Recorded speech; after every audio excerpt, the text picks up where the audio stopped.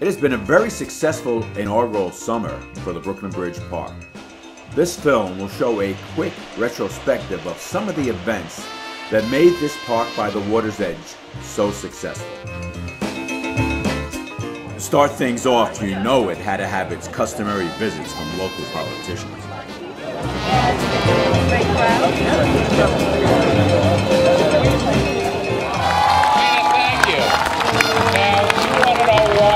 Here talking. The truth of the matter is, we can't have the movie until it gets dark. So I thought I would talk about tax policy, how efficient Albany is. State Senator Daniel Squadron.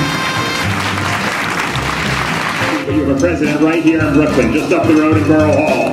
The great president of the Republic of Brooklyn, Mr. Borough President Marty Markowitz.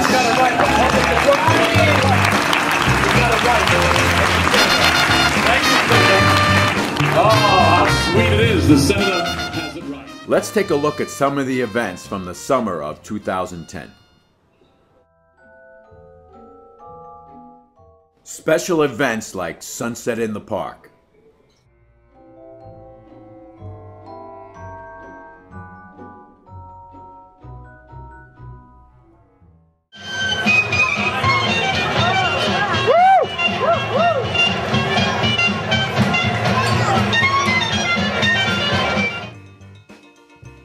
Kayaking 20 minute excursions for free.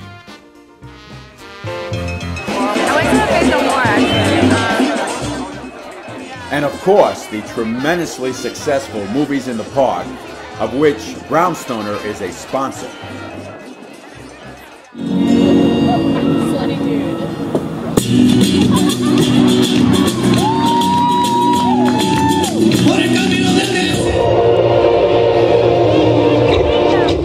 For those that are more culturally inclined, love those impromptu musical performances at Pier 1.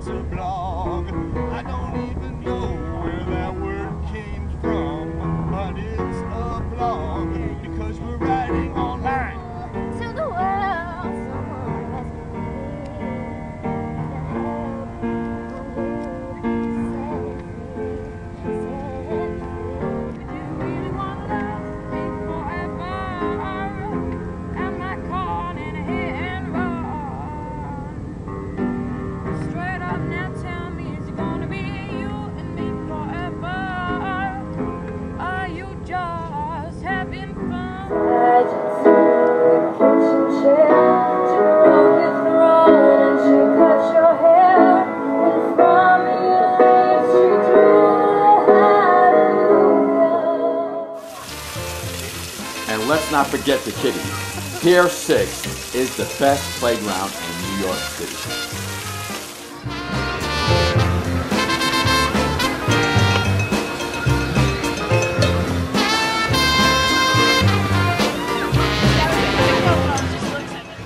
Also, remember the free ferry service from Pier 6 to Governor's Island.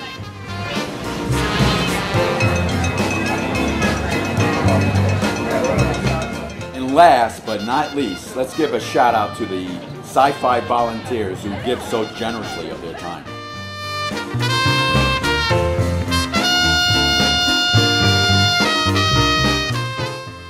Oh, yeah, and I'd be really remiss if I don't mention my little friend, the Muskrat Dodger. Yes, a Brooklyn Dodger.